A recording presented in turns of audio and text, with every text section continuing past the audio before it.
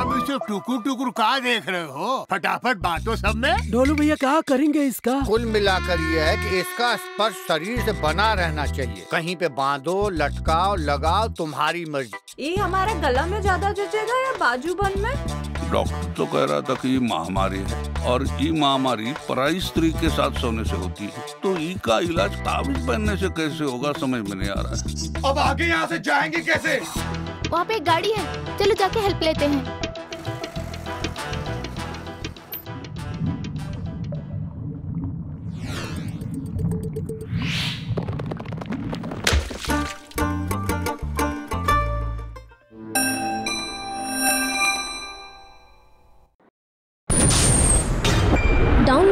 App and subscribe now.